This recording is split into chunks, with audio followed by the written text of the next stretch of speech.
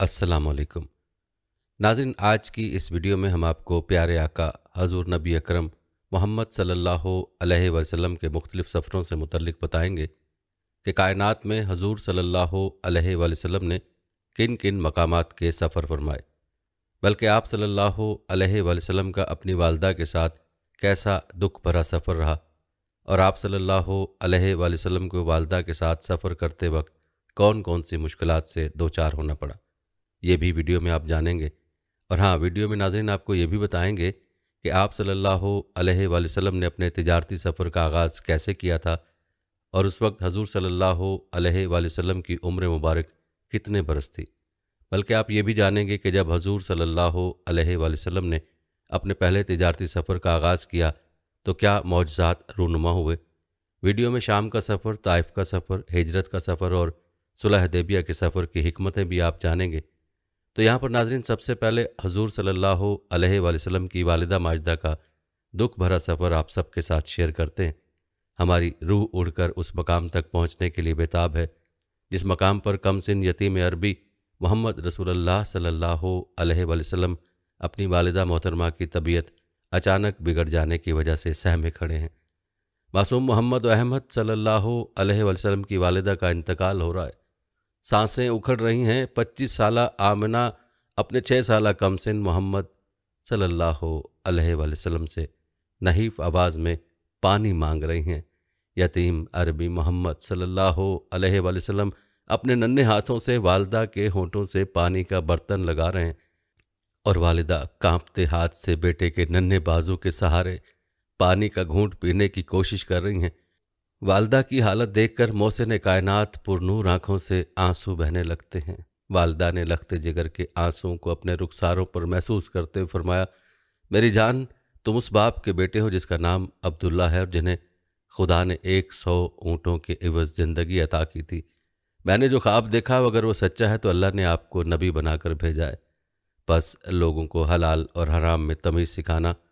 आप अपने दादा इब्राहिम का मज़हब देकर भेजे गए हो हर इंसान को मौत आनी है। मैं भी अल्लाह को जान दे रही हूँ, मगर मेरा नाम मेरे बेटे की सूरत में हमेशा ज़िंदा रहेगा और वालदा कायनात ने अपने नन्हे मोहम्मद के नाजुक बाजुओं में जान दे दी। किसने कबर खो दी, अल्लाह ही बेहतर जानता है। हज़रत आमना रज़ी तह की कनीज़ उम ऐमन रजील तह आपके हमरा थीं। सोलह किलोमीटर दूर अबवा गाँव से कुछ लोगों को बुलाकर लाई होंगी। कब्र खोदी गई होगी वालिदा कायनात को कब्र में उतारा गया। पहाड़ी से नीचे उतरे तो उम्म अमन ने देखा कि नन्हे मोहम्मद सल्लल्लाहु अलैहि वसल्लम मौजूद न थे।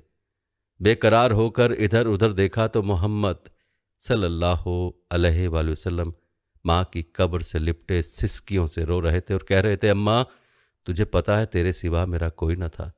तू भी मुझे छोड़ के चली गई। मैं तेरे बगैर वापस नहीं जाऊँगा।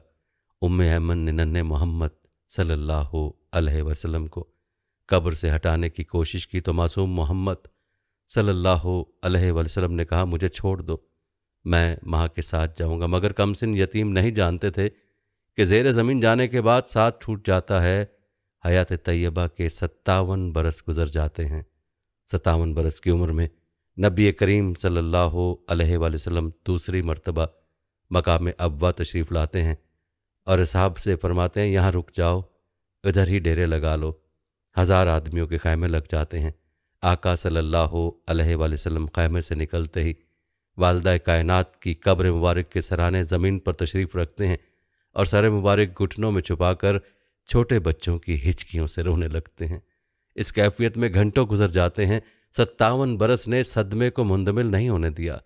घुटनों से सर उठाया तो दाढ़ी मुबारक आंसुओं से तरती। फरमाने लगे, काश मेरी माँ ज़िंदा होती और मैं ईशा की नमाज़ के लिए मुसल्ले पे खड़ा होता और सूर्य फातह शुरू कर चुका होता। उधर से मेरे घर का दरवाज़ा खुलता और मेरी माँ पुकारती, मोहम्मद तो मैं उसके लिए नमाज़ तोड़ देता। और मैं कहता, लब्बैक या अम्मा हम गुनागार लोग अपनी माओ की ज़िंदगी में उनकी कदर नहीं करते, मगर उनके जाने के बाद दरो दीवार से रो रो कर कह रहे होते हैं कि, माँ माँ, एक बार पलट कर आवाज़ से तेरी बेटी, तेरा बेटा दौड़े चले आएँगे। हम तो वो बदनसीब हैं जो अक्सर नमाजी भी नहीं कि ये कह सकें कि, माँ, एक बार पुकार तो सही, हम नमाज़ तोड़कर चले आएँगे। बहरल नाजिन काबा के सामने कुरैश के लिए जो फ़र्श बिछाए जाते, वस्त में अब्दुल मुतलिब रजील तलानो बैठते, मगर नन्हे मोहम्मद सल्लल्लाहु अलैहि तशरीफ़ लाते तो हल्का से गुजर कर दादा मोहतरम के पास चले आते और सरदार कुरैश अपने लाडले पोते को अपने पहलू में बिठा लेते। हज़रत आमिना रजीला तलानो नन्हे लखते जिगर को हमरा लिए यसरब बनी नजार अपने मैके तशरीफ़ ले गईं। हज़रत मोहम्मद सल्लल्लाहु अलैहि वसल्लम को मकान भी दिखाया, जहाँ आप सल्लल्लाहु अलैहि वसल्लम के वालिद हज़रत अब्दुल्ला अल्लाह को प्यारे हुए थे। अपने मरहूम शोहर की कब्र मुबारक की ज़्यारत भी की। हज़रत मदीना के बाद हजूर पाक सल्लल्लाहु अलैहि वसल्लम मदीना में जब भी वो मकानात देखते, जहाँ आप सल्लल्लाहु अलैहि वसल्लम की वालिदा ने परवरिश पाई थी तो फरमाते मैं अपनी वालदा के साथ यहाँ आया था और बनी नजार के तालाब में तैरता था और तैराकी में खूब महारत हासिल कर ली थी। एक आम इंसान अपना बचपन का ज़माना फरामोश नहीं कर सकता, जबकि आप सल्लल्लाहु अलैहि वसल्लम का मदीना में अपनी वालदा ननिहाल के साथ गुजरा वक्त आपकी ज़िंदगी का हसीन तरीन ज़माना था। आप सल्लल्लाहु अलैहि वसल्लम फरमाते थे कि उस दौरान एक यहूदी ने मुझे देखा और मेरा नाम पूछा। मैंने अपना नाम अहमद बताया। उसने मेरी पीठ देखी और फिर कहने लगा, ये उस उम्मत का नबी है। मेरी वालदा को उस गुफ्तु का इल्म हुआ तो वो घबरा गई और मुझे मक्का वापस ले जाने का फ़ैसला कर लिया। वापसी से पहले हज़रत आमना रजील तला अपने शोहर की कब्र पर गईं और बहुत रोईं। कब्र के पास बैठी फरमाने लगें कि आप मुझे शादी के एक माह बाद दाग मफारकत दे गए। जबकि मैं आपके अहमद की माँ बनने वाली थी, आज आपका फर्जन छः साल का हो गया। आपकी याद बहुत तड़पाती है। नन्ने मोहम्मद सल्लल्लाहु अलैहि वसल्लम, वालिदा के पहलू में बैठे उनका अपने शोहर से दुख सुख सुन रहे थे। उन्हें क्या खबर थी कि उनकी वालदा भी उन्हें दागे मफारकत दे जाएँगी? ननियाल में एक माह क़याम के बाद नन्हे मोहम्मद सल्लल्लाहु अलैहि वसल्लम और कनीज़ उम्म ऐमन के हमरा वापस मक्का रवाना हो गई। शोहर की जुदाई इस कदर गालिब हुई कि दौरान सफ़र बीबी आमना रज़ी तला की तबीयत बिगड़ने लगी और रास्ते में ही तबीयत ख़राब होने की वजह से बैठ गई। मक्का और मदीना के बीच मकाम अब्वा की पहाड़ियों और बयाबानों में जान खाले के हकीकी के सपोर्ट कर दी। वालदा की कब्र में उतरने का मंजर बचपन की यतीम निगाहों ने किस तरह देखा होगा? तस्वुर से ही दिल दर्ज जाता है। उम्म ऐमन गम से निढाल नन्हे मोहम्मद सल्लल्लाहु अलैहि वसल्लम को उनके दादा के पास लेकर पहुँची। दादा ने यतीम पोते की हालत देखी तो उन्हें सीने से लगाकर रो दिए होंगे। हज़रत आमना रज़ीला तला वालदा रसूल अल्लाह अलैहि वसल्लम, जो तेरी माँ है, मेरी माँ है, सारी कायनात की माँ है, उन पर करोड़ों सलाम। नादिन अब आपको ये भी बताते हैं कि जजीरा अरब एक बिल्कुल बेआबो गया इलाका है, जहाँ खेती बाड़ी करने या मवेशी पालने का सवाल ही पैदा नहीं होता। अचूँकि इस दौर में अहल अरब इल्म, हुनर और फ़नून से भी ना आशना थे इसलिए उनके मुआश के तौर पर एक पेशा तिजारत ही बेहतरीन करार पा सकता था। वैसे भी जजीरा नुमा अरब दुनिया के ऐन वस्त में होने की बिना पर मुख्तलिफ़ मुल्कों के दरमियान एक बेहतरीन मकाम इतसाल था। इसलिए यहाँ के बाशिंदों का आम पेशा तजारत था और वो तजारत के सिलसिले में दूर दराज के ममालिक की तरफ़ स्याही करते रहते थे। उनके तजारती काफ़िले एक जानब तो बहर हिंद से लेकर बहरा रूम तक और दूसरी जानब जनूब अरब में उमान व यमन से लेकर शुमाल में फ़लस्तीन व शाम तक चलते रहते थे। इस तरह बड़ी बड़ी तजारती शाहराएँ उन्हीं के कब्ज़े में थीं और उनके बड़े बड़े तजारती कारवां मालो इसबाब से लदे हुए आते जाते रहते थे। मौसम गर्मा में उनके सफ़र शुमाल में शाम की तरफ़ होते और मौसम सरमा में जनूब में उमान व यमन की तरफ़। आबादी का पेशतर हिस्सा इसी तजारत पर गुजर बसर करता, अपना बेशतर सरमाया तजारती कामों में लगाए रखता, काफिलों की वापसी पर मुनाफा आपस में तकसीम होते। ये ताजिर पेशा लोग दूसरे बशिंदों की बनस्बत आसूदा थे। उनमें से कबीला कुरैश का तजारती मकाम तो बहुत बुलंद था। बल्कि वह अरब की पूरी तजारत पर हावी थे, जिसकी शहादत खुद अल्लाह जल्ला शाह ने अपने कलाम मुक़दस में दी है। नाजरीन, हज़रत मोहम्मद सल्लल्लाहु अलैहि वसल्लम ने खानवादा कुरैश में ही आँखें खोली और उसी तजारती माहौल में नशोनुमा पाई। लिहाजा आप तजारत जैसे मुकदस पेशे से अलग कैसे रह सकते थे? आपके चचा अबू तालिब भी ताजिर थे और तजारत के लिए दूर दराज के सफ़र इख्तियार किया करते थे। दादा की वफ़ात के बाद उन्होंने आपकी परवरिश का ज़िम्मा अपने कंधों पर उठाया और आपको अपनी औलाद से बढ़कर महबूब रखा। इसी मोहब्बत की बिना पर आपको अपने साथ सफ़र पर भी ले जाने लगे। नादरीन आप सल्लल्लाहु अलैहि वसल्लम ने अपने पहले तिजारती सफ़र का आगाज़ कुछ इस तरह किया कि जब आप सल्लल्लाहु अलैहि वसल्लम की उम्र मुबारक बारह साल दो माह हो चुकी तो आपके चचा अबू तालिब ने कुरैश के काफिला तजारत के साथ शाम जाने का इरादा किया। मसाइब सफ़र के ख्याल से अबू तालिब का इरादा आपको हमरा ले जाने का ना था। एन रवानगी के वक्त आपके चेहरे पर हजनो मिलाल के आसार देखे, इसलिए आपको अपने हमरा ले लिया और रवाना हुए। जब शहर बुसरा के करीब पहुँचे तो वहाँ एक नसरानी राहिब था, जिसका नाम जर्जीस था और बहिरा राहिब के नाम से मशहूर था। बहिरा की आपसे मुलाकात हुई, उसने हजूर सल्लल्लाहु अलैहि वसल्लम के पुरनूर चेहरे पर अलामत नबूत देखी और आपको आने वाले नबी की पेशन गोई का मुस्ताक पाया तो अबू तालिब को ताकीद की कि लड़का बड़ा होकर अजीमुशान बनेगा, लिहाजा से शाम के यहूदी दुश्मनों से बचाया जाए। चुनाचे हज़रत अबू तालिब ने फिलफोर आपको मक्का वापस भेज दिया। नादिन जैसा पहले बयान किया कि हजूर अकदस सल्लल्लाहु का असली ख़ानदानी पेशा तिजारत था और आप बचपन ही में अबू तालिब के साथ कई बार तिजारती सफ़र फरमा चुके थे। जिससे आपको तजारती लेन देन का काफ़ी तजुर्बा भी हासिल हो चुका था। इसलिए आपको तजारत से बड़ी दिलचस्पी थी और आप सल्लल्लाहु अलैहि वसल्लम अपने प्यारे चचा अबू तालिब के कंधों को जो पहले से ही कसीरुल अयाल थे, मज़ीद ग्रां बार करना नहीं चाहते थे। इसलिए आपने तजारत को जारी रखते हुए ज़रिया मुआश के लिए उसी पेशे को इख्तियार फरमाया और तजारत की गर्ज से शाम बसरा और यमन का सफ़र फरमाया और ऐसी रास्तबाजी और अमानत व दयानत के साथ आपने तिजारत का कारोबार किया कि आपके शुरा और तमाम अहल बाज़ार आपको अमीन के लकब से पुकारने लगे। एक कामयाब ताजिर के लिए अमानत, सच्चाई, वादे की पाबंदी और खुश अखलाकी तजारत की जान है। इन खसूसियात में मक्का के ताजर अमीन ने जो तारीखी शाहकार पेश किया, उसकी मिसाल तारीख़ आलम में नादर रोज़गार है। आप जल्द ही अपने नसाफ की वजह से मक्का के कामयाब तरीन ताजर साबित हो गए और पूरी कौम में आपका नाम सादिक और अमीन मशहूर हो गया। आपकी रास्तबाजी और उसने किरदार का सिक्का हर फर्द बशर के दिल पर बैठ गया और मक्का के बड़े बड़े ताजिर और मालदार ये ख्वाहिश करने लगे कि आप उनका सरमाया अपने हाथ में लेकर उनके कारोबार चमकाएँ। आप सल्लल्लाहु कुछ दिनों तक साहिब बिन कैस मखजूमी के सरमाए से तिजारत करते रहे, बल्कि उन्होंने ही आप सल्लल्लाहु अलैहि वसल्लम को ताजर अमीन के लकब से नवाजा। नाजरीन, आप सल्लल्लाहु अलैहि हर मामला सच्चाई और अमानतदारी से करते और हर मामले में सच्चा वादा करते और जो वादा करते उसको पूरा ही करते। आपके तजारती साथी अब्दुल्ला बिन अबिल हमसा बयान करते हैं कि मैंने बैसत से पहले एक बार नबी करीम सल्लल्लाहु अलैहि वसल्लम से एक मामला किया। मेरे ज़िम्मे कुछ देना बाकी था। मैंने अर्ज़ किया कि मैं अभी लेकर आता हूँ। इत्तफाक से घर जाने के बाद अपना वादा भूल गया। तीन रोज़ बाद आया कि मैं आपसे वापसी का वादा करके आया था। याद आते ही फ़ौरन आप सल्लल्लाहु अलैहि वसल्लम के मकान पर पहुँचा। मालूम हुआ कि दो रोज़ गुजर गए, आज तीसरा दिन है, वो मकान पर नहीं आए। घर वाले खुद परेशान हैं। मैं यहाँ से रवाना हुआ और जहाँ जहाँ ख्याल था, सब जगह आप सल्लल्लाहु अलैहि वसल्लम को तलाश किया। कहीं नहीं मिले तो एहतियातन वादा गाह पर पहुँचा। मेरी हैरत की इंतहा न रही जब देखा कि आप उसी मकाम पर मौजूद हैं और मेरा इंतज़ार कर रहे हैं। और ज़्यादा हैरत उस बात पर हुई कि मुसलसल तीन दिन इंतज़ार की जहमत उठाने के बाद भी जब मैंने माजरत की तो आप ना नाराज़ हुए, ना लड़ाई झगड़ा किया और ना डांट डपट की, सिर्फ़ इतना कहकर खामोश हो गए और वो भी धीमी आवाज़ में कि, अरे भाई, तूने मुझे जहमत दी, मैं तीन दिन से इसी जगह तुम्हारा इंतज़ार कर रहा हूँ। फरमाते हैं कि मैं ज़माना जालियत में तजारत के कारोबार में आप सल्लल्लाहु अपना मामला हमेशा साफ़ रखते थे। अब्दुल्ला बिन साहिब रसूल अल्लाह सल्लल्लाहु का शरीक तजारत था। जब मदीना मुनवरा हाजिर हुआ तो आप सल्लल्लाहु अलैहि वसल्लम ने फरमाया कि मुझको पहचानते भी हो।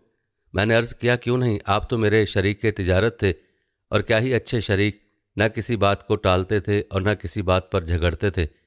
आप सल्लल्लाहु अलैहि वसल्लम के कारोबार के एक साथी का नाम अबू बकर भी था। वो भी मक्का ही में कुरैश के एक सौदागर थे। वो कभी कभी सफ़र में आप सल्लल्लाहु अलैहि वसल्लम के साथ रहते थे। अरब में हर साल जो मशहूर तिजारती मेले मुनद होते तो हजूर सल्लल्लाहु वसल्लम भी अपना सामान तजारत उन मेलों में ले जाया करते। आपकी दयानतदारी की बिना पर आपका सामान मेले में आते ही हाथों हाथ बिक जाता। एक दफ़ा एक मेले में आप बीस ऊँट लाए, मगर उसी वक्त किसी काम से बाहर जाना पड़ गया। तो अपने गुलाम को ताकीद कर गए कि उन ऊँटों में से एक लंगड़ा है, उसकी निसफ कीमत वसूल की जाए। फारिग होकर आप वापस तशरीफ़ लाए तो ऊँट फ़रोख्त हो चुके थे। गुलाम से दरियाफ्त किया तो उसने माजरत की कि मुझे ख़रीदारों को लंगड़े ऊँट की बाबत बताना याद न रहा और मैंने उसकी भी पूरी कीमत वसूल कर ली। आप सल्लल्लाहु अलैहि वसल्लम ने ख़रीदारों का पता दरियाफ्त किया तो उसने बताया कि वो यमन की तरफ़ से आए थे। आप सल्लल्लाहु अलैहि वसल्लम को इस वाक़े पर बड़ा मलाल था, फ़ौरन ग़ुलाम को साथ लिया और घोड़े पर सवार होकर उनकी तलाश में चल दिए। एक दिन और एक रात की मुसाफत तय करने के बाद उनको पा लिया और उनसे पूछा कि तुमने ऊँट कहाँ से ख़रीदे हैं? वो बोले कि हमारे मालिक ने हमें यमन से मेले में मोहम्मद बिन अब्दुल्ला के तमाम ऊँट खरीदने के लिए भेजा था और ताकीद की थी कि उसके सिवा किसी और से कुछ सामान न खरीदना।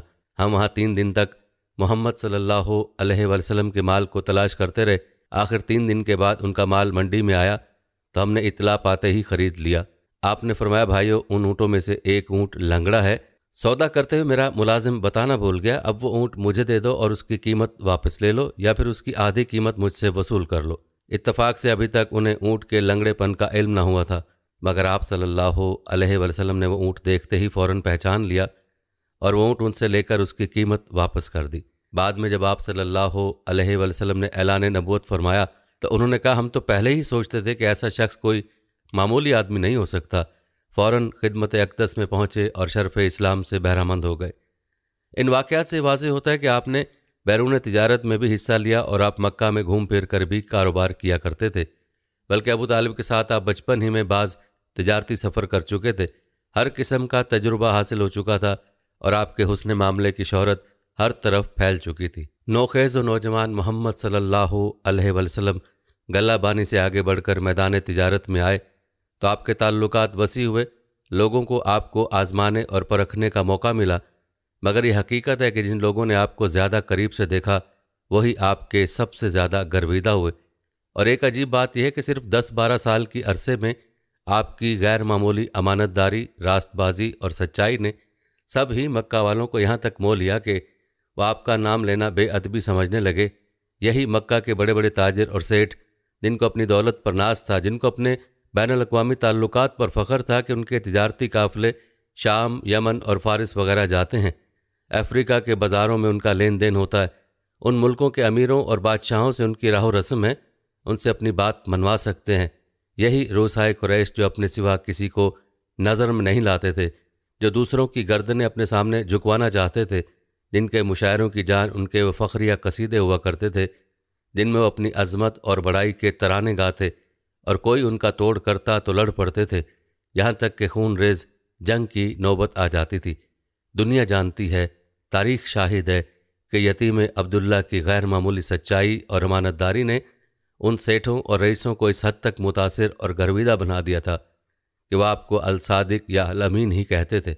नाम लेना बेअदबी समझते थे। ये दो लफ्ज़ यहाँ तक ज़ुबानों पर चढ़ गए कि उन्होंने कौमी लकब की हैसियत इख्तियार कर ली। नाजरीन, आप वसल्लम का शाम का सफ़र, दूसरा कुछ इस तरह है कि उन दोनों मक्का में सबसे ज़्यादा मालदार एक मोज़ खातून सैदा खदीजा बिनते खोल थीं, जो दो बार बेवा हो चुकी थी, उन्होंने बाप से कसीर जायदाद पाई थी और अब तमाम तर तवज्जो तजारत की तरफ़ मबजूल कर रखी थी और अपनी तजारत को बाकी रखने के लिए उन्हें किसी ऐसे अमानतदार शख्स की ज़रूरत थी, जो कारोबारी सलीका और तजारती तजुर्बा भी रखता हो। हजूर सल्लल्लाहु अलैहि वसल्लम की उम्र अगरचे तकरीबन तेईस साल थी, मगर आपके औसाफ हमीदा के चर्चे शुरू हो गए थे। कारोबारी सलीके की भी शहरत हो चुकी थी और तजारती काफ़िले के साथ शाम जाकर बैरूनी तजारत का भी आपको तजुर्बा हो चुका था। तो उन्होंने ख्वाहिश जारी की कि हजूर सल्लल्लाहु अलैहि वसल्लम उनका सामान तजारत सरजमीन शाम की तरफ़ ले जाएँ और मामला ये तय हुआ कि वो आपको दूसरे लोगों की बनस्बत दो गुना मुनाफा देंगी। आप सल्लल्लाहु अलैहि वसल्लम ने अपने चचा अबू तालिब से मशवरा करने के बाद ये पेशकश कबूल फरमा ली और शाम की तरफ़ रवाना हुए। वापसी पर आपने ऐसा माल तलाश किया जिसका मक्का में फ़ौर नकास हो जाए। आपने शाम से माल लाकर मक्का मजमा में फ़रोख्त किया तो काफ़ी नफ़ा हुआ। हज़रत खदीजा ने शाम जाते वक्त जब माल सपोर्ट किया तो अपने भरोसेमंद गुलाम मैसरा को भी साथ कर दिया। बहाना यह था कि वो खिदमत करते रहेंगे, और मकसद ये था कि माल की निगरानी भी रखें, और हजूर सल्लल्लाहु अलैहि वसल्लम के आदात व अखलाक का भी गहराई से मुताला करते रहें। सफ़र शाम से वापसी पर हजूर अलैहि वसल्लम ने माल का नफ़ा हज़रत खदीजा रज़ी तह के सपुर्द किया और मैसरा ने ना सिर्फ़ अमानतदारी बल्कि आपके आम अखलाक का भी ऐसी तारीफ़ की कि खदीजा रज़ी तला जो अपनी ज़िंदगी का आखिरी दौर किसी रास्त बाज के हवाले करना चाहती थीं। दामा ने मोहम्मद अलैहि वसल्लम में उनको गोहर मुराद नज़र आने लगा, चुनाचे सफ़र शाम से वापसी के दो माह पच्चीस रोज़ बाद हज़रत खदीजा रज़ी तह ने आपको निकाह का पैगाम दिया। आपने अपने चचा के मशवरे से इसको कबूल फरमाया और 25 बरस की उम्र में अपने से 15 बरस और दो बार बेवा हो चुकी खातून के साथ निकाह किया। निकाह के बाद हज़रत खदीजा रज़ी तह ने अपना माल हजूर सल्लल्लाहु के कदमों पर निछावर कर दिया। मगर आपने उनका सारा माल गरीबों, बेवाओं और यतीमों की इमदाद पर सर्फ कर दिया और अपनी मुआशी तजारत को बाकी रखा। इससे अपने कुंबे की गुजर बसर करते तजारत की खातिर आपने बसरा और मदीना की जानब कई तजारती सफ़र किए, और इन्हीं सफ़रों के दरमियान आपने कुरैश के तजारती शाहराहों के हर पेचो खम से आगाह हो गए। खसूस मदीना की सियासी और जोग्राफी हैसियत अच्छी तरह से समझ ली। चंद इर्शादात नबी और नकल कर देना मुनासिब समझता हूँ, जिनसे तजारत और तजारत पेशा लोगों की अजमत वाज हो। नेज़ तजारत में उम्मत के लिए आपका मुकर करदा असूल भी सामने आ सके। आप सल्लल्लाहु अलैहि वसल्लम से एक बार सवाल किया गया कि कौन सी कमाई पकीज़ा तरीन है? फरमाया, अपने हाथों से काम करना और हर हलाल व जायज़ खरीदो फरोख्त, तजारत में हुसन मामला, सदाकत व दयानत और रास्तबाजी की हर दम ताकीदी नसीहत फरमाते रहे। फरमाया, क़्यामत के रोज़ ताजर फज्जार की हैसियत से उठाए जाएँगे बजिस उस ताजर के जो अपने मामलात में खुदा तरस रहा हो, लोगों से हुसन सलूक किया और हर मामले में सच्चाई का दामन थामे रखा हो इसी तरह फरमाया, अमानतदार और रास्त पास ताजिर क़यामत के दिन सद्दीकों और शहीदों के साथ उठाया जाएगा। आप सल्लल्लाहु अलैहि वसल्लम ने तिजारत में ज़्यादा कस्में खाने से मना फरमाया। तिजारत में ज़्यादा कस्में खाने से एहतियात बरतो, क्योंकि इस तरह माल तो बिक जाता है, मगर बरकत जाती रहती है। आखिरी बात यह है कि बै करने वालों का सबसे पहले आपने ताजिर नाम रखा। पहले उन्हें समासिर कहा जाता था। इस नए नाम को तमाम लोगों ने बहुत पसंद किया। नाजिन, अब आपको ये भी बताते हैं कि अल्लाह ताला के आखिरी रसूल हज़रत मोहम्मद सल्लल्लाहु वसल्लम को तबलीग इस्लाम की पादाश में किन मुश्किल मसाइब, तकालीफ, आजमाइशों, अजियतों और इम्तहान से दो चार होना पड़ा? मक्का में जान लेवा मजालिम जान निसारों की मजलूमाना बेबसी और हफ्शा की जान हिजरत, शैब अबी तालिब के तीन साल मुहासरा मुकात यानी सोशल बाइकाट, जुल्म सितम का ना ख़त्म होने वाला सिलसिला यहाँ तक कि अबू लहब और अकबा बिन अबी मोहित के हुक्म पर आप सल्लल्लाहु अलैहि वसल्लम के सर मुबारक पर गलाजत उंडेली गई। उन्हीं दुश्मनान इस्लाम के कहने पर आप सल्लल्लाहु अलैहि वसल्लम के रास्ते में कांटे बिछाए गए। उन्हीं के इशारे अबरू पर काशाना नबवी सल्लल्लाहु अलैहि वसल्लम में बर्तनों को ख़राब किया गया। पकती हुई हंडिया को ऊंधा किया गया। खुदा ताला के हलाल करदा रिज्क में गलाजत डाल दी गई। आप सल्लल्लाहु अलैहि वसल्लम के जिस्म मुबारक पर ऊँटों के ओझ डाले गए। गर्द गुबार से जिस्म और लिबास मुबारक आलूदा करने की नापाक जसारत भी की गई। आप सल्लल्लाहु की साहबजादियाँ ये सूरत हाल देख कर दिलगीर हुई और उनकी ज़ुबान मुबारक से बद दुआ या जुमले निकले तो आप सल्लल्लाहु अलैहि ने फरमाया, ए बेटी, दिलगीर ना हो, तेरे बाप का अल्लाह खुद मुहाफ़ है। गोया जुल्म, सितम, अजियत, तकलीफ़, जहनी कोफ्त और जिसमानी तशद जैसा वैशियाना और गैर इंसानी बर्ताव आप सल्लल्लाहु अलैहि वसल्लम से बरता गया, लेकिन इन सब कुछ के बावजूद आप सल्लल्लाहु अलैहि वसल्लम के सब्र तहमुल अफ़ दरगज़र, जब्त बर्दाश्त और इस्तकलाल में ज़र्रा बराबर कमी नहीं आई और आज तक तारीख़ आप सल्लल्लाहु अलैहि वसल्लम के रहम करम, ज़िमत, साबित कदमी और फराखी और हौसले की दास्तानें सुना रही हैं। जब मक्का के वैशी जुल्म सितम से बाज ना आए तो आप सल्लल्लाहु अलैहि वसल्लम ने ताइफ की तरफ़ सफ़र का इरादा फरमाया। ताइफ मक्का से तकरीबन 40 मील के फासले पर खूबसूरत वादी, जरखेज़, बागात और पहाड़ों से मुजयन इलाका है। मक्का के सरदारों ने यहाँ कोठियाँ बना रखी थीं। कबीला सकीफ़ यहाँ आबाद था, यरब का ताकतवर कबीला था। कुरैश की उस कबीले से रिश्तेदारियाँ भी थीं। यहाँ तीन भाई, अब्द, यालेल, मसूद और हबीब इस कबीले के सरदार थे। वैसत नबी सल्लल्लाहु अलैहि वसल्लम का दसवां साल शवालमकर्रम का महीना था। आप सल्लल्लाहु अलैहि वसल्लम फरीज़ा तबलीग के लिए गालबन पैदल यहाँ पहुँचे। आप सल्लल्लाहु अलैहि वसल्लम के हमरा हज़रत जैद बिन हारिसा रज़ी तला थे। दस दिन यहाँ क़याम फरमाया, अवाम ख़ास के सामने दिन इस्लाम पेश किया। मजिन इलाका के मकानों पर तशरीफ़ ले गए और उन्हें दावत इस्लाम कबूल करने को कहा, लेकिन सबने बेरुखी का मुजाहरा किया।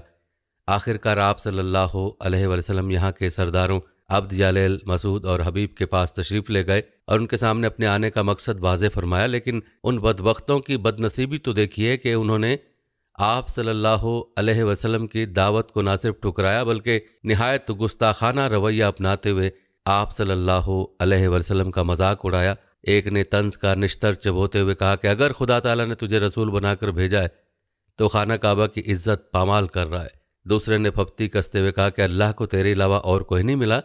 जिसे वह रसूल बनाकर भेजता, तीसरे ने आवाज़ा कसते हुए कहा, अल्लाह की कसम, मैं तेरे साथ बात नहीं करता। अगर तू वाकई अल्लाह का रसूल है, जैसा कि तेरा दावा है तो रसूल की शान ये नहीं कि उससे बहस की जाए, और अगर तू खुदा पर झूठ बोल रहा है तो मेरी शान ये नहीं कि तुझ जैसे झूठे से बात करूँ। नाउजबिल्ला उसके बाद उन हरमा नसीबों ने ताइफ के उबाशों और आवारा गर्दों को आप सल्लल्लाहु अलैहि वसल्लम के पीछे लगा दिया। कोई ताली बजाता, कोई सीटी बजाता, कोई जुमले कसता, कोई हुल्लड़बाजी करता शोर, हड़बूंग और उधम मचाते हुए वो आप सल्लल्लाहु अलैहि वसल्लम को ताइफ की गलियों में ले आए। यहाँ दोनों तरफ़ लोग सफ़ बनाए पत्थर हाथों में लिए खड़े थे। जब आप सल्लल्लाहु अलैहि वसल्लम का गुजर वहाँ से हुआ तो उन्होंने आप सल्लल्लाहु अलैहि वसल्लम को पत्थर मारना शुरू किए। सर मुबारक से लेकर पाँव मुबारक बल्कि नाली ने मुबारक तक आप सल्लल्लाहु अलैहि वसल्लम लहू लुहान हो गए और पिंडलियों और घुटनों पर गहरे जख्म आए। बदन मुबारक से खून मुबारक बहता हुआ कदमों तक पहुँचा। कदमों से रिश्ता हुआ नालिन मुबारक तक पहुँच गया। नालिन और कदमेन आपस में खून की वजह से चिमट गए। हज़रत जैद बिन हारिसा रज़ी तु आप सल्लल्लाहु अलैहि वसल्लम को बचाने के लिए कभी आगे आते, कभी दाएँ बाएँ और कभी पीछे। उनका भी सर लहलान हो गया। पत्थरों की बरसती बारिश में कभी आप सल्लल्लाहु अलैहि वसल्लम बैठ जाते और वो दोबारा आप सल्लल्लाहु अलैहि वसल्लम को हाथ डालकर खड़ा करते और पत्थर बरसाते। जब आप सल्लल्लाहु अलैहि वसल्लम बेहोश होकर गिर पड़े तो हज़रत जैद बिन हारिसा रज़ी तलानों ने आप सल्लल्लाहु अलैहि वसल्लम को उठाया। करीब ही कुछ पानी था, वहाँ ले गए ताकि खून के धब्बे धोएँ। कुछ देर बाद तबीयत कुछ संभली तो करीब में एक बाग था और अंगूर की सायेदार बेल के नीचे थोड़ी देर लेट गए और मबूद बरहक की बारगाह में आबिद हक परस्त बनकर मनाजात और दुआ में मशगूल हो गए। आप सल्लल्लाहु अलैहि वसल्लम के सोजो गुदास तड़प और दर्द और ज़ख्मों की टीस ने नाला फरियाद में वो तासीर पैदा की जिससे अरश बरी तक काँप उठा। इस मौका पर आप सल्लल्लाहु अलैहि वसल्लम ने बारगाह इज्दी में दुआ की कि अल्लाह, मैं तुझी से अपनी बेबसी का शिकवा करता हूँ। ये मुझे रसवा करना चाहते हैं। इसका शिकवा भी तुझी से करता हूँ। ए सारे मेहरबानों से ज़्यादा मेहरबान। ए मेरे परवरदिगार, आप मुझे किन के हवाले कर रहे हैं? जो मुझसे दूर हैं, जो मुझसे मुँह चढ़ाकर बात करते हैं। ए अल्लाह, अगर तू मुझसे नाराज़ नहीं और अगर मुझ पर तेरा अताब नहीं तो मुझे किसी भी बात की परवाह नहीं। खुदावन, तेरा, तेरी आफियत का दामन बहुत वसी है। ए अल्लाह, मैं पनाह माँगता हूँ उससे कि मुझ पर तेरा गज़ब पड़े या अताब नाजिल हो। तुझ ही को मनाना है और उस वक्त तक मनाना है जब तक तू राज़ी ना हो जाए। यहाँ से उठे, कर्नल सालब पहाड़ी सामने थी, ऊपर नज़र उठाई, बादल ने आप सल्लल्लाहु अलैहि वसल्लम पर साया किया हुआ था। बादल पर नज़र जमाई तो उसमें जबरील अमीन जलवा अफरोज थे। उन्होंने अर्ज़ की, या रसूल अल्लाह सल्लल्लाहु अलैहि वसल्लम, अल्लाह ताला ने सुन लिया, देख लिया, आप सल्लल्लाहु अलैहि वसल्लम ने जो कुछ फरमाया, उन्होंने जैसा सलूक किया, सब का सब देख और सुन लिया। ये मेरे साथ, मलकुल जबाल, यानी पहाड़ों की निगरानी पर मुकर फरिश्ता मौजूद है। आप सल्लल्लाहु अलैहि वसल्लम हुक्म दीजिए, ये तामील करेंगे। मलकुल जबाल ने अर्ज़ की, मुझे अल्लाह ताला ने भेजा है, आप सल्लल्लाहु अलैहि वसल्लम जो चाहें हुक्म करें, मैं तामील करूँगा। आप सल्लल्लाहु अलैहि वसल्लम हुक्म दें तो मक्का के दोनों तरफ़ की पहाड़ों को मिलाकर, इन तमाम बेअदब और गुस्ताखों को पीस डालूं। आप सल्लल्लाहु अलैहि वसल्लम आजमाइश के दुराहे पर खड़े थे। एक आजमाइश अहल ताइफ ने आप सल्लल्लाहु पर जुल्म सितम के पहाड़ तोड़े। दूसरी आजमाइश के जबरेल अमीन और मलकुल जबाल उनको पीस डालने की फरमाइश के मुंतज़र खड़े हैं। पहला इम्तहान था सब्र ज़ब्त तहमुल बर्दाश्त और इस्तकलाल का। दूसरा इम्तहान था दावा रहम करम का, फ़राखी हौसला और वसत ज़रफ़ी का। अल्लाह करीम ने आप सल्लल्लाहु अलैहि को दोनों में कामयाब फरमाया। आप अलैहि वसल्लम ने फरिश्तों को जवाब दिया अगर ये बदनसीब ईमान नहीं लाए तो क्या हुआ? मैं उनके आने वाली नस्ल से हरगिज़ नाउमीद नहीं हूँ। मुझे अल्लाह की ज़ात पर मुकम्मल यकीन और भरोसा है कि उनकी नस्लों में ऐसे लोग पैदा फरमाएगा जो अल्लाह की तोहद के कायल और शिरक से बेजार होंगे। करीब ही मक्का के मशहूर सरदार अतबा और शिबा बिन रबिया के बाग था। उस वक्त ये दोनों भाई वहाँ मौजूद थे। उन्होंने अपने गुलाम को अंगूरों के खोशे देकर आप सल्लल्लाहु अलैहि वसल्लम के पास भेजा। उस गुलाम का नाम उदास था और मजहबन नसरानी था। वह आप सल्लल्लाहु के पास आया और अंगूर पेश किए। आप सल्लल्लाहु ने अंगूर खाने के लिए हाथ बढ़ाया तो ज़ुबान मुबारक पर बिस्मिल्लाहमान रहीम जारी हो गया। उदास कहने लगा, यहाँ के लोग तो अर्रहमान रहीम नहीं कहते।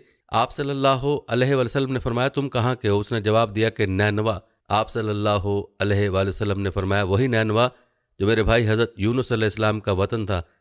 वह हैरत ज़दा होकर पूछने लगा कि आप यूनुस इस्लाम को कैसे जानते हैं? आप सल्लल्लाहु अलैहि वसल्लम ने जवाब दिया, मेरे और उनके दरमियान नबूत का रिश्ता है। वो भी अल्लाह के नबी थे और मैं भी अल्लाह का भेजा हुआ नबी हूँ। उदास ये सुनकर उसी वक्त मुसलमान हो गया।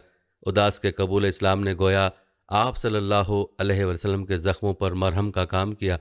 ताइफ से वापसी पर जिन्नात की एक जमात ने इस्लाम कबूल किया। सफ़र ताइफ से हमें ये सबक मिलता है कि दिन इस्लाम की तबलीग के लिए इंतहाई कठिन और मुश्किल हालात भी आएँ तो साबित कदमी और खंदा पेशानी से बर्दाश्त करने चाहिए। तबलीग की मेहनत का नतीजा अगर वक्ती तौर पर नज़र ना भी आए तो भी अल्लाह की रहमत से नाउमीद नहीं होना चाहिए। इसलिए कि मेहनत का समर कुछ अरसे बाद अल्लाह ताला ज़रूर अता फरमाते हैं। यहाँ पर नाजिन, हम आपको ये भी बताते हैं कि तेरह साल के बाद बेपनाह दुखों और बेमिसाल सब्र तहमुल के बाद जब मदीना की शक्ल में एक पनाह नसीब हो गई तो रसूल अल्लाह सल्लल्लाहु अलैहि वसल्लम ने सब ईमान वालों को वहाँ हिजरत का हुक्म दे दिया, ताकि अपनी कुवतों को मजतम करके कुफर पर कारी ज़रब लगा सकें। हिजरत को जान बचाने का अमल न था, न उसका मंशा एक पुरमन जगह पहुँच बाकी ज़िंदगी ज़िक्र इलाही में गुजारना था। इसका मकसद एक मज़बूत किले में बैठकर कुफर से पंजा आजमाई करना और उसे सरनगू करना था। कुफर शिर को सफ़ा हस्ती से मलिया मेट करना था। बादशाह हकीकी की सल्तनत से बागियों का खात्मा करना था। हकूमत की बागडोड़ अल्लाह के बंदों के हवाले करना था, ताकि उसे बादशाह की मर्ज़ी के मुताबिक चलाएँ। हिजरत आगाज़ था उस नस्ब लैन तक पहुँचने का, जिसके लिए रसूल अल्लाह सल्लल्लाहु अलैहि वसल्लम को दुनिया में भेजा गया था। ये इब्तदा थी उस कोशिकन अमल की, जिसने कुर्र ज़मीन पर अल्लाह के झंडे के सिवा हर दूसरे झंडे को उखाड़ फेंकना था, जिसने सारी दुनिया को कुफर शिरक की आलाइश से पाक करके इंसानी जमात को एक बरादरी और ज़मीन को एक जन्नत बनाना था। यही वजह थी कि मुसलमानों से हिजरत पर बैत ली गई और वो फ़तह मक्का तक जारी रही। यही वजह थी कि हिजरत ना करने वालों के मुतलक कुरान ने कहा कि उनसे, तुम्हारी कोई दोस्ती नहीं। तुम्हारे दोस्त और सच्चे मोमिन सिर्फ़ वो हैं जो हिजरत करते और जानो माल से जहाद करते हैं या उन्हें पनाह और मदद देते हैं। चुनाचे हुक्म मिलते ही हर जगह से मुसलमानों ने अपने घर बार बीवी बच्चों और मालो मता को छोड़कर मदीना का रुख किया। मक्का के मुसलमानों ने एक एक करके खामोशी से जाना शुरू किया। हत्या के पीछे सिर्फ़ रसूल अल्लाह सल्लल्लाहु अलैहि वसल्लम सैदना हज़रत अबू बकर रज़ी तलानो और सैदना हज़रत अली रज़ी तलानो रह गए।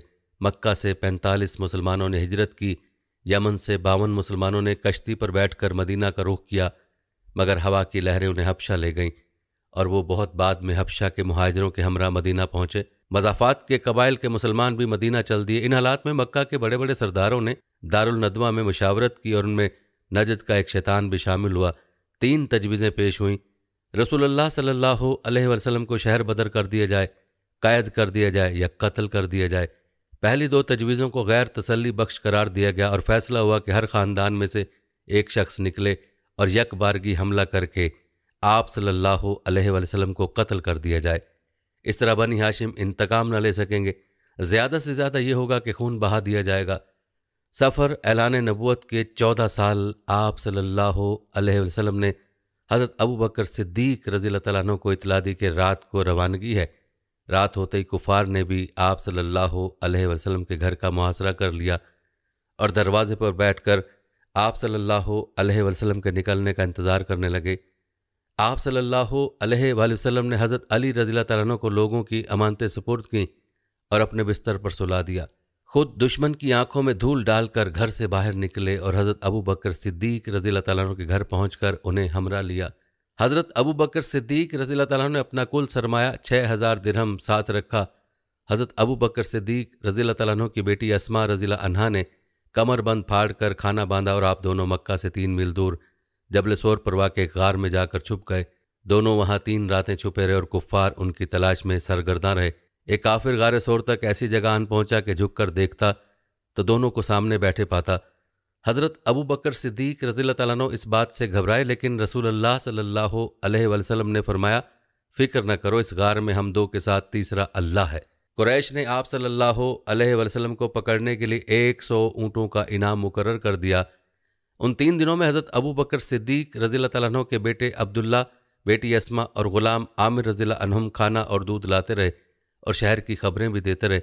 चौथे दिन अब्दुल्ला बिन औरिकत जो मुसलमान न था, तीन ऊँटनियाँ लाया और दो ऊँटनियाँ हज़रत अबू बकर सिद्दीक रजील तहों की पाली हुई थीं। रसूल अल्लाह सल्लल्लाहु अलैहि वसल्लम ने किसी और की ऊँटनी पर सफ़र करने से इनकार किया और कीमत अदा की। अब्दुल्ला बिन औरकत उजरत पर राह दिखाने पर मामूर था और बावजूद काफिर होने के उस पर एतबार किया गया। एक ऊँटनी पर रसूल अल्लाह सल्लल्लाहु अलैहि वसल्लम सवार हुए।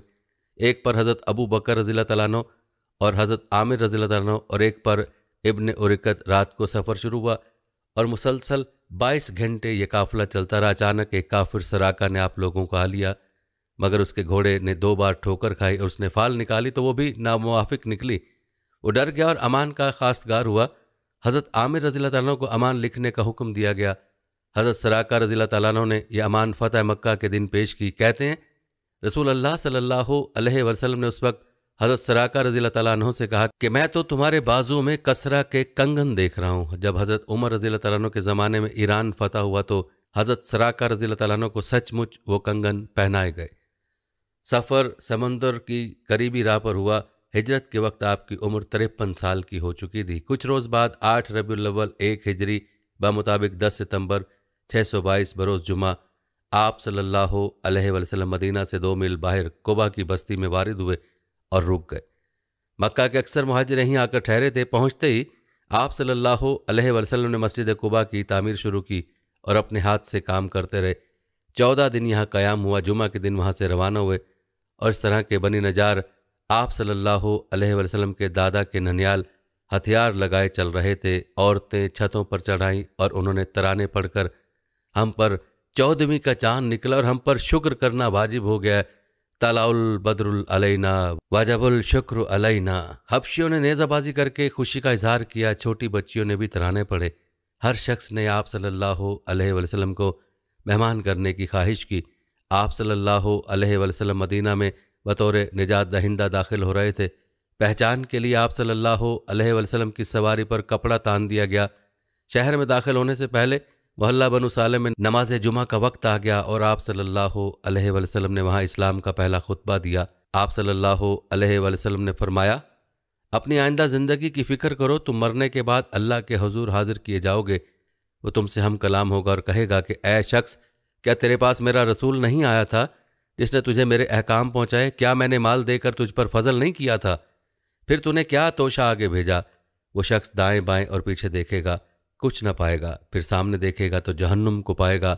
बस ऐ लोगो, जहन्नुम से बचो, अगरचे वो खजूर के एक टुकड़े से ही हो, और जिसके पास वो भी ना हो, वो खुश कलामी इख्तियार करे और अच्छी बात से साहिल को रद्द करे। नादिन अब आपको यह भी बताते हैं कि सुलह देबिया में हजूर सल्लल्लाहु अलैहि वसल्लम के साथ क्या मामला पेश आए। नाजन इसका शुमार इस्लाम के उन तारीखी माहदात में होता है जिन्होंने इस्लाम की तमीर व तरक्की और इशात व फ़रोग में कश्त अव्वल का किरदार अदा किया। इस माहदे के तनाजुर में आ हज़रत सल्लल्लाहु अलैहि वसल्लम की कायदाना सलाहियत मुदबराना हमत शौरी सियासत और अमूर सल्तनत में बालिग नजरी खुलकर इंसानियत के सामने आई, जिसने तमाम सलातीन आलम को वर्ताए हैरत में डाल दिया और वो सल्लल्लाहु अलैहि वसल्लम के कामयाब सियासी लीडर होने का एतराफ़ व इकरार किए बगैर न रह सके। असर सबक और असर हाजिर के बहुत से गैर मुस्लिम मुफक्रीन का यह ख्याल है, अगर इस मौके पर मुशरकिन मक्का की जानब से मुसलमानों का रास्ता साफ़ कर दिया जाता, वो अपने प्लान के मुताबिक उम्र की अदायगी करके मदीना वापस चले जाते और तारीखी मसालियत की नौबत ना आती तो आज तारीख़ मजाहब में जो इस्लाम को कलीदी हैसियत हासिल है, वो कभी ना होती।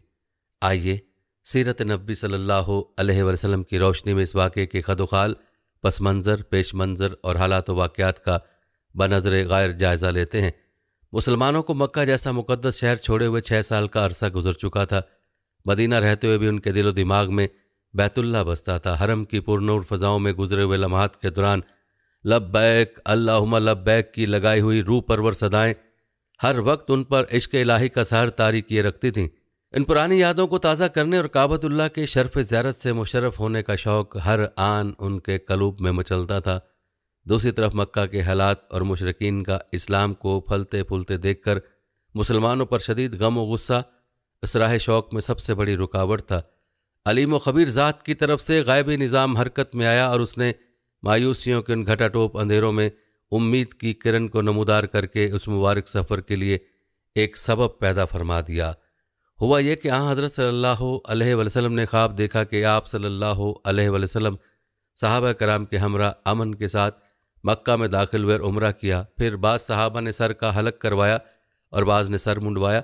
नबी का ख्वाब चूँकि वही के दर्जे में होता, इसलिए ये ख्वाब गोया अल्लाह की तरफ़ से हुक्म था कि आप सल्लल्लाहु अलैहि वसल्लम अपने साथियों को लेकर मक्का जाएँ और उम्र की अदायगी करें। ये ख्वाब सुनते ही साहबा कराम के दिलों में मोहब्बत इलाहिया की चिंगारी भड़क उठी और वो खाना खुदा की ज्यारत के लिए भरपूर तैयारी में मसरूफ़ हो गए। नबी करीम सल्लल्लाहु अलैहि वसल्लम यकम जिलकत चौदह सौ अफराद के काफ़िले के साथ मक्का के लिए रवाना हुए। चूँकि सफ़र का मकसद खालिसता उम्र अदा करना था और जंग का कोई इरादा नहीं था, इसलिए ज़रूरी हथियारों के अलावा कोई सामान जंग साथ न लाए। कुर्बानी के जानवर भी साथ थे। जुल हलीफा पहुँच कर उम्र का एहराम बांधा और जानवरों के गले में कोलादा यानी निशानी डाला।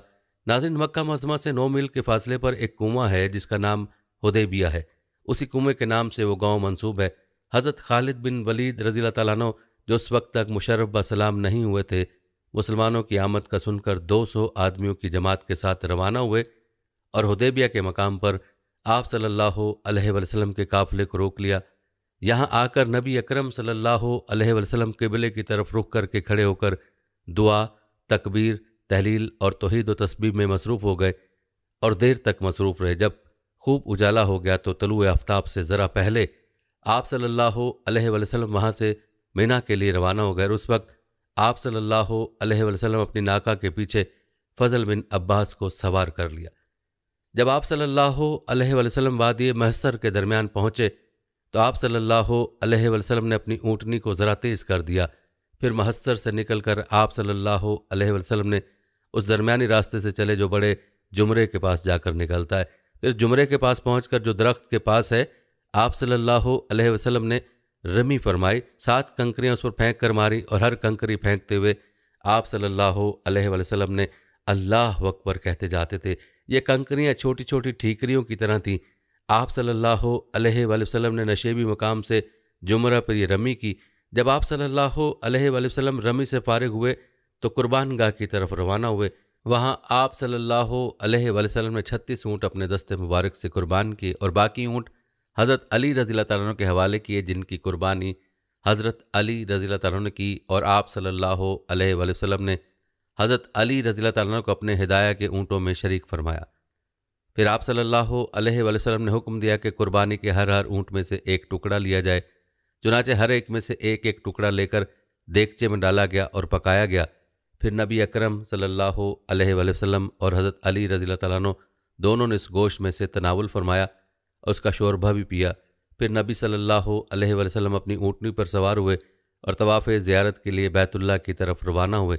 जहर की नमाज़ आप सल्लल्लाहु अलैहि वसल्लम ने मक्के में पहुँच कर अदा फरमाई। नमाज़ जहर से फारग होकर आप सल्लल्लाहु अलैहि वसल्लम अपने अहल ख़ानदान बनी अब्दुलमतलब के पास आए, जो जमजम से पानी खींच खींच कर लोगों को पिला रहे थे। आप सल्लल्लाहु अलैहि वसल्लम ने उनसे फरमाया, डोल निकाल कर पिलाओ।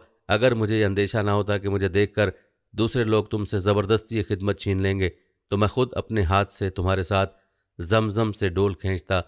उन लोगों ने आप सल्लल्लाहु अलैहि वसल्लम को डोल भर कर दिया तो आप सल्लल्लाहु अलैहि वसल्लम ने उसमें से नोश फरमाया, ये है रसूल अकरम सल्लल्लाहु अलैहि वसल्लम का, वो अलविदाई हज जो आखिरी भी है और मिसाली भी, उम्मत के लिए उस हुसना भी है और क़यामत तक अहल ईमान इस नमूने पर अपना फरीज़ा हज अदा करते रहेंगे। हमारी दुआ है कि अल्लाह ताला मोमिन को हजूर अक्रम सल्लल्लाहु वसल्लम के नक्श कदम पर चलने की तोफ़ी कता फ़रमाए। आमीन या रब्बुल आलमीन।